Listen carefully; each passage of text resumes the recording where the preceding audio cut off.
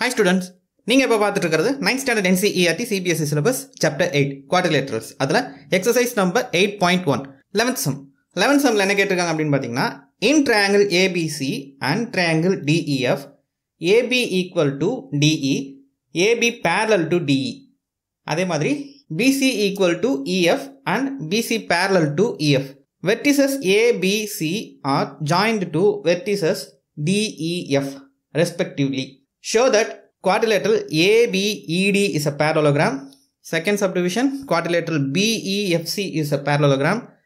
Third subdivision, line AD parallel to line CF and line AD equal to line CF. Fourth subdivision, quadrilateral ACFD is a parallelogram. Fifth subdivision, line AC is equal to DF. Sixth subdivision, triangle ABC is congruent to triangle DEF so இதிலேருந்து நம்ம six sums போட போகிறோம் அதாவது ஒரே ஒரு இந்த ஒரே ஒரு டயக்ராம் வச்சு நம்ம பண்ண போகிறது என்னதுன்னா இந்த சிக்ஸ் சப்டிவிஷன்ஸை நம்ம சால்வ் பண்ணணும்.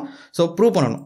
ப்ரூவ் பண்ணும்போது என்ன சொல்லியிருக்காங்க? நமக்கு கிவனில் ஆல்ரெடி கொடுத்த விஷயங்கள் அப்படின்னு பார்க்கும்போது இதில் கொடுத்துருக்கிறது என்னன்னு பார்த்தீங்கன்னா இந்த ட்ரே அதாவது ஏபிஇடி அப்படிங்கிறது எங்கே இருக்குன்னு பாருங்கள் இப்போது ஏபிஇடி அப்படிங்கிறது இந்த டாட்டட் லைன்ஸோடு இருக்கிற இந்த பேரலோகிராம் இல்லைனா வந்து ஒரு ரெக்டாங்கிள் என்ன ஷேப்பாக உங்களுக்கு அது தெரியுதோ எடுத்துக்கோங்க. ஏன்னா பேரலோகிராமுக்கும் ரெக்டாங்கிளுக்கும் ஏறக்குறைய சேம் ப்ராப்பர்ட்டிஸ் தான்.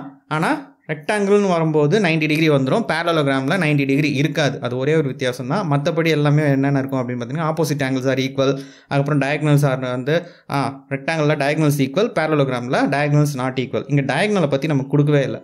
ஃபர்ஸ்ட் சப்டிவிஷன் பார்க்கும்போது நமக்கு குவாடிலேட்ரல் ஏபிஇடி e, அப்படின்னு சொல்லியிருக்காங்க. ஸோ கொடுத்துருக்கிறது ரெண்டு ட்ரையாங்கிள் அந்த ரெண்டு ட்ரையாங்கிளில் இருந்து என்ன சொல்லியிருக்காங்க? இந்த வெர்டிசஸில் இன்னொரு ட்ரையாங்கிளில் இருக்க வெர்டிசஸை ஜாயின் பண்ண சொல்கிறாங்க அதாவது ஏ டியோட பிஇயோட அண்டு சிஎஃபோட ஜாயின் பண்ணோம் அப்படின்னா அது ஒரு கெரடாஸ்கோப் மாதிரி நமக்கு ஒரு ஷேப் கிடைக்குது. அதுக்குள்ளே இருக்கிறது பார்த்தீங்கன்னா ஒரு ரெக்டாங்குலர் ஷேப் கிடைக்குது. அந்த ரெக்டாங்குலர் வந்து நமக்கு சைடாக பார்க்கும்போது பேரலோகிராம் மாதிரி இருக்குது ஸோ பார்க்கும்போதே அது பேரலோகிராம் சொல்லலாம். அப்படியே சரி.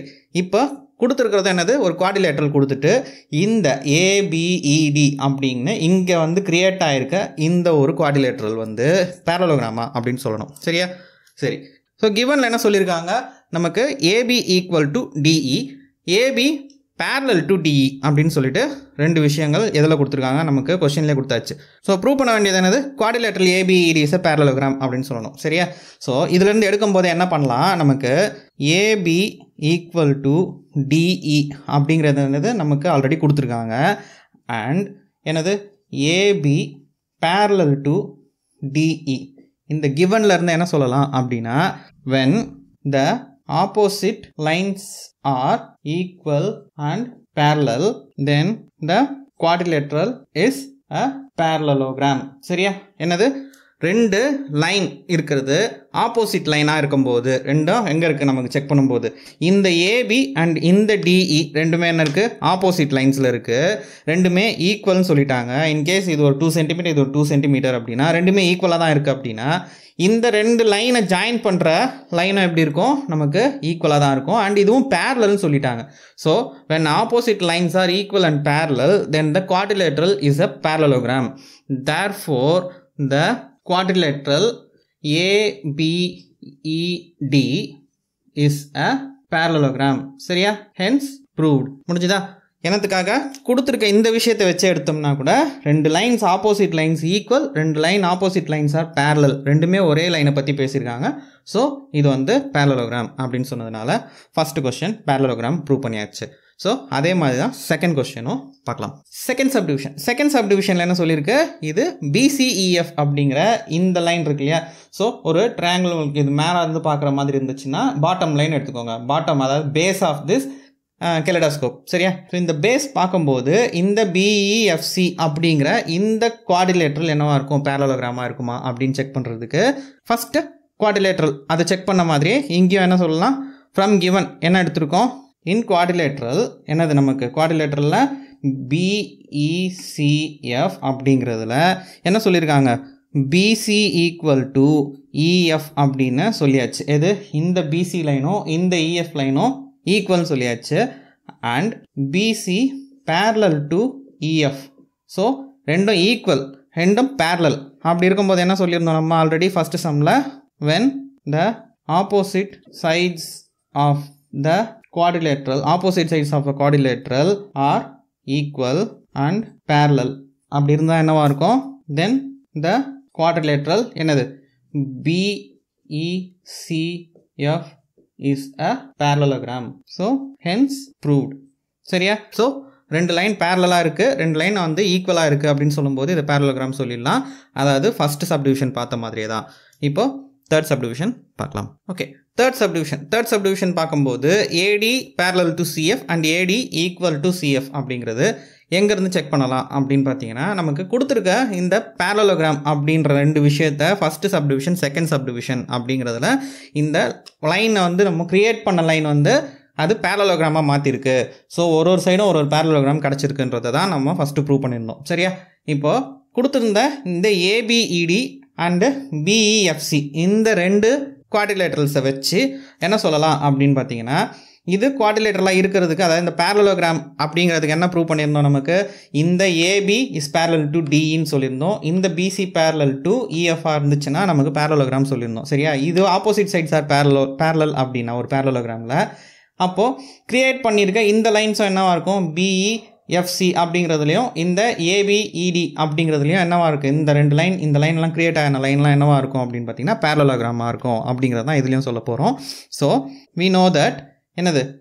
ABED and BEFC is a parallelogram சரியா?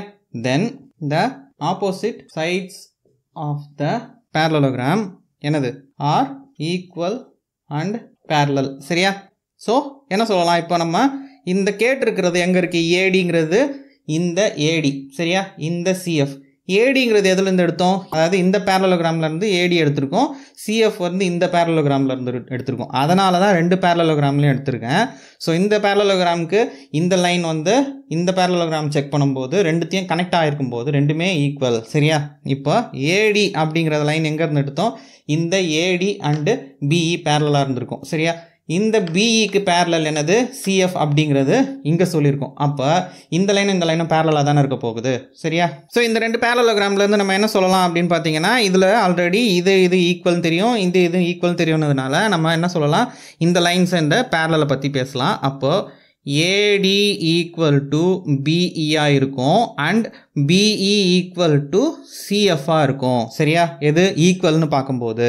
அண்ட் இதில் பேரலல் பார்க்கும்போது ஏடி பேரலல் டு பிஇஆக இருக்கும் அண்ட் பிஇ பேரலல் டு சிஎஃப்ஆ இருக்கும் அப்படிங்கிறது எதுலேருந்து இந்த ரெண்டு பேரலோகிராம்லேருந்தும் சொல்லிடலாம். ஸோ இதில் இருந்து என்ன சொல்லலாம்? ஏடி ஈக்குவல் டு சிஎஃப் சொல்லலாம். இதில் ஏடி பேரலல் டு சிஎஃப்னு சொல்லிடலாம். ஸோ நமக்கு therefore AD parallel to CF and AD equal to CF சரியா? நமக்கு என்ன பண்ணியிருக்கோம் இதில்? ஹென்ஸ் ப்ரூவ்ட் முடிஞ்சுதா? ஸோ எதில் இருந்து எடுத்திருக்கோம்? இந்த ஃபஸ்ட்டு ஏபிஇடிங்கிற இந்த பேரலோகிராம் அண்டு இந்த பிஇஎஃப்சிங்கிற இந்த ரெண்டு பேரலோகிராம் எடுக்கும்போது ஏடிக்கு பிஇ பேரலல் அண்ட் ஈக்குவல் அப்படிங்கிறது பேரலோகிராமில் இருக்க? அதுடைய ப்ராப்பர்ட்டி அண்டு பிஇஎஃப்சிங்கிற இந்த பேரலோகிராமில் பிஇ அண்ட் சிஎஃப்ங்கிறது ஈக்குவலாக இருக்கும். அதுவும் வந்து opposite sides of the parallelogram equal are parallel அப்படின்னு சொல்லிடலாம்.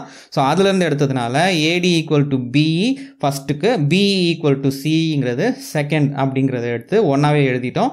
தென் பேரலல்னு செக் பண்ணும்போதும் AD parallel to BE BE parallel to CF அப்படி எடுக்கும்போது நமக்கு ஏடி பேரலல் டு சிஎஃப் அப்படிங்கிறது இங்கேருந்து ஈக்குவல் டு சிஎஃப்ன்றது இங்கே எழுதியாச்சு.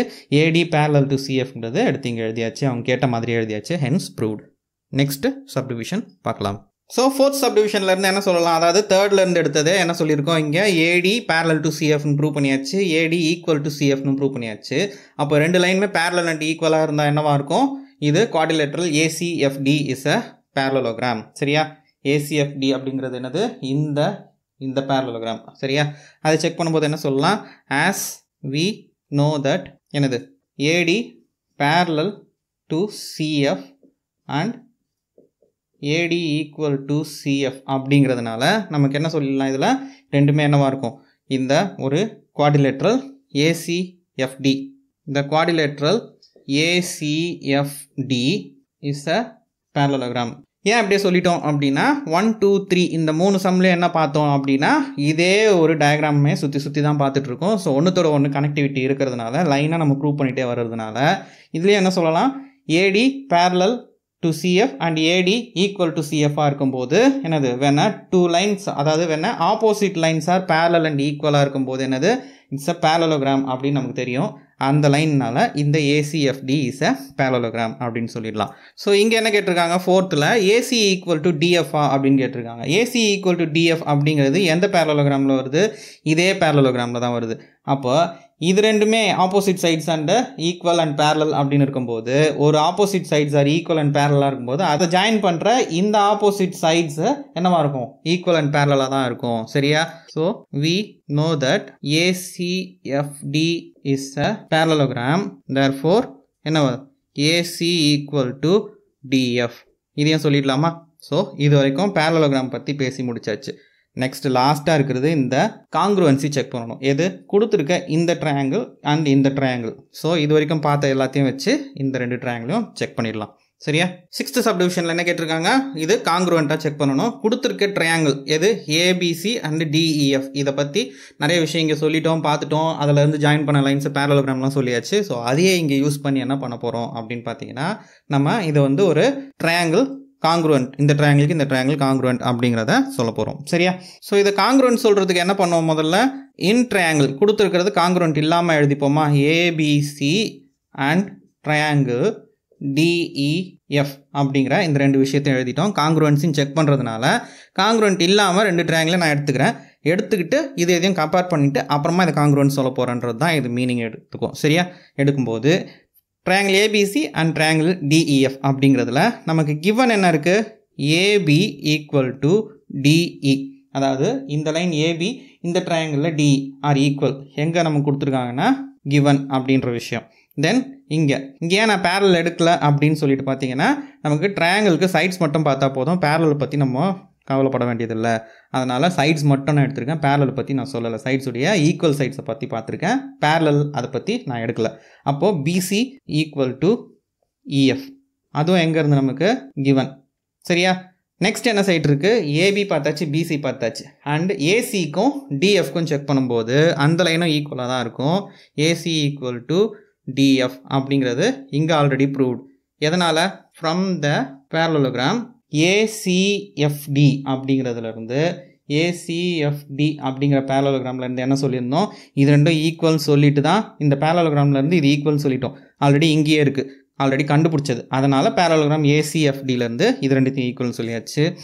Therefore side side side congruence என்னது triangle ABC congruent to triangle DEF சரியா? கண்டுபிடிச்சாச்சு. ஹென்ஸ் ப்ரூவ்டு முடிஞ்சுதா? ஸோ ஒரு சம்மில் இத்தனை விஷயம் கேட்டிருக்காங்கன்னா கண்டிப்பாக ஒன்றுத்தோட ஒன்று இன்டர்லிங்க் ஆகிருக்கும் ஸோ அதை வச்சே நம்ம சால்வ் பண்ணிட்டு வரும்போது ஈஸியாக முடிச்சிடலாம். சில சில ப்ராப்பர்ட்டிஸ் மட்டும் ஞாபகம் வச்சுருந்தா போதும். ஸோ இந்த மாதிரி சம்ஸ் வரும்போது ஆல்ரெடி ப்ரூவ்டு அப்படிங்கிறது நீங்கள் எப்படியும் வந்து பேஜில் பேப்பரில் தானே எழுதிட்டு வர போகிறீங்க அப்போ பேப்பரில் எழுதும்போது ஆல்ரெடி ப்ரூவ்டுன்னு சொல்லும்போது எங்கே ப்ரூவ் பண்ணியிருக்கீங்களோ அதை மாதிரி இந்த ஒரே ஒரு வேர்டாக சொல்லிட்டா போதும். கொடுத்துருக்கிறது என்னது? பேரலோகிராம் கேட்டிருக்காங்களா? ராம்பஸ் கேட்டிருக்காங்களா? இந்த மாதிரி விஷயத்துடைய ப்ராப்பர்ட்டிஸ் அந்த ப்ராப்பர்ட்டியை எங்கே யூஸ் பண்ணுறோம் அப்படிங்கிறத அங்கங்கே டினோட் பண்ணிட்டீங்கனாலே உங்களுக்கு சம போட தெரியுது அப்படின்னு அர்த்தம். சரியா? நெக்ஸ்ட் சம் பார்க்கலாம். இந்த வீடியோ உங்களுக்கு பிடிச்சிருந்தா லைக் பண்ணுங்கள் உங்கள் ஃப்ரெண்ட்ஸோட ஷேர் பண்ணிக்கோங்க. ஏதாவது டவுட்ஸ் ஆர் ஒப்பீனியன் இருந்தால் கமெண்ட்டில் சொல்லுங்கள் கூடவே டெலிகிராம் அண்ட் இன்ஸ்டாகிராம் லிங்க் டிஸ்கிரிப்ஷனில் கொடுத்துருக்கேன். அதுலேயும் உங்களோட டவுட்ஸ் நீங்கள் ஷேர் பண்ணி சால்வ் பண்ணிக்கலாம். எந்த வீடியோவும் ஸ்கிப் பண்ணாமல் பாருங்கள் இது வரைக்கும் நம்ம சேனல் ஓம் லேர்னிங் ஜோனை சப்ஸ்கிரைப் பண்ணலாம் சப்ஸ்கிரைப் பண்ணிக்கோங்க. கூடவே அந்த பெல்லைக்கான டால் நோட்டிஃபிகேஷன் கிளிக் பண்ணிக்கோங்க. அப்போ தான் நான் போஸ்ட் பண்ணுற வீடியோஸ் உங்களுக்கு நோட்டிஃபிகேஷனில் காட்டும். Thank you students